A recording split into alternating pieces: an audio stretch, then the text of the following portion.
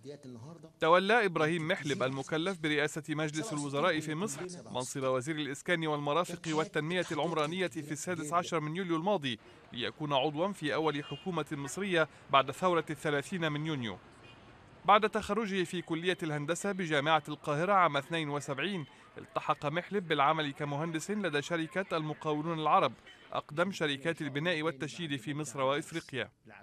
واطلع محلب الذي تولى رئاسة الشركة إلى جانب عضوية لجنة السياسات بالحزب الوطني المنحل بمهام الإدارة والإشراف على عدة مشروعات تابعة للشركة في مجالات عدة.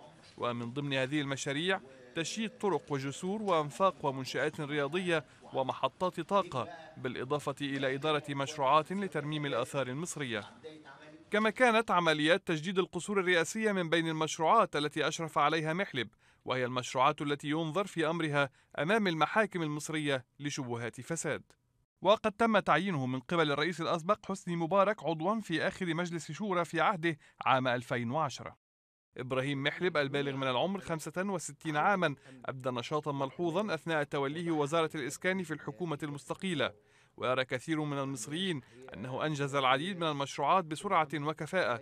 ولا عجب إذن أن يتم تكليفه برئاسة مجلس الوزراء الجديد.